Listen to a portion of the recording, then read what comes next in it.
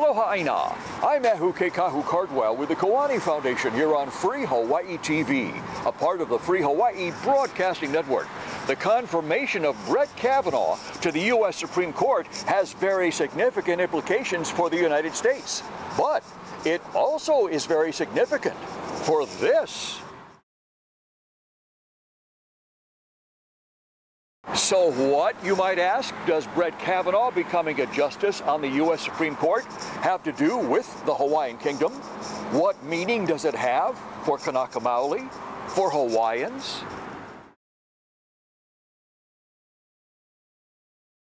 That's right, because there is now a conservative majority on the U.S. Supreme Court. Any attempt to create a Hawaiian tribal government will now ultimately be voted down by that very court.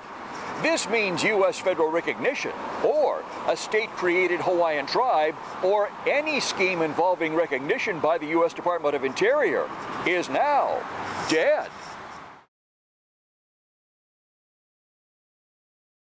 Stop and think for a moment.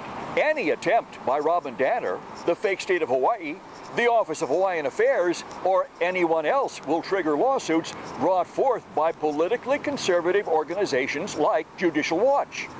These lawsuits will ultimately end up in the U.S. Supreme Court and, with a conservative majority, will lose. End of story.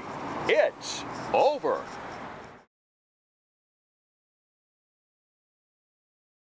So, what should those who have been pushing for some kind of Fed rec all these years now start to focus on instead? Those who claim they want to improve the lives of Kanaka Maoli should now be focusing on one thing, putting Hawaiians back on the Aina, the land, so they can have title to the land and live a life of independence. That's the one thing that makes a real difference. Now, if you think this information is important, share this free Hawaii TV video with all your friends online. That's how you can support a free Hawaii. I'm Ehu Kekahu Cardwell with the Koani Foundation, right here on the Free Hawaii Broadcasting Network.